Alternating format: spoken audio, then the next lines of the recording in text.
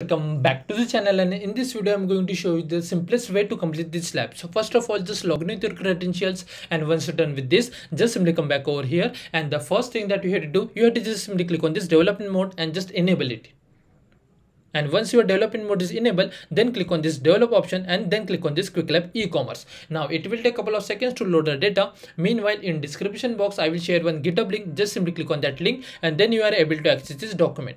Now what you have to do just simply come back over here click on this views option and here you can see orders underscore item. Just open this file remove all this content come back over here and as you can see file name order underscore item. Now just simply scroll down and I will recommend you just try to copy from the bottom. And one more thing I already separated the command accordingly. So just copy like this.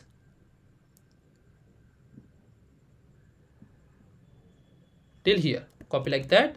Paste over here. And then click on this save changes. It's done. Now if you just scroll down now where we have to make changes? In products file. So just simply come back over here. Click on this products file. Remove this content. Just scroll down. Try to copy from the bottom like this copy like this paste over here and then click on the save changes. It's done. Now again just scroll down. Now where you have to make changes? In users file. So just simply click on this users file remove this content. Again just simply scroll down.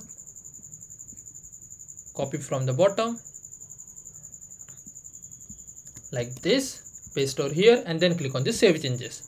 It's done. Now if you just scroll down and here you can see where we have to make changes training underscore e-commerce. So just simply click on this model and then click on this training underscore e-commerce file. It's open. Now remove this content. Now just simply scroll down. Try to copy from the bottom as we are doing.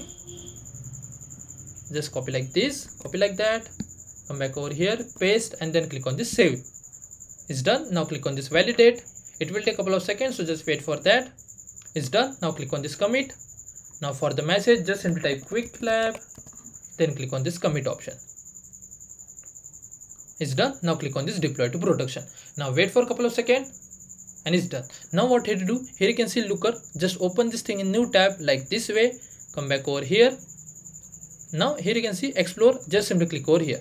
Now i request you please pay attention. Here you can see order item just right click over here and open this thing in new tab again just simply right click over here and open this thing in new tab. As you can see this two tab is created. Now click on this file. Just wait and as you can see this kind of output. Now if you just simply click over here and here you will get same output. Now just simply come back over here. Click on this quick lab task 1 now switch back to this tab. Click on this quick lab task 2 and now click on this quick lab task 3 now wait for a couple of seconds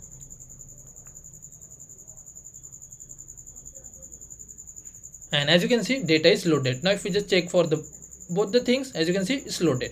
Now you don't have to do anything if you just simply come back to the library instructions and just simply click on this check my progress you will get a score without any issue. And if you are not able to get a score no need to worry because lab take time to update the score this is very surprising that i was able to get a score on my first attempt and i'm again saying because i already tried this lab couple of times and last time i had to just wait for at least 5 to 10 minutes to get a score. So if you are not able to get a score no need to worry just wait for at least 5 to 10 minutes and you will get a score without without any issue. And that's the way we have to complete this lab. If you still have any doubts please do let me in the comment section. And i hope you guys like the way i solved this lab. So thanks for watching and have a good day guys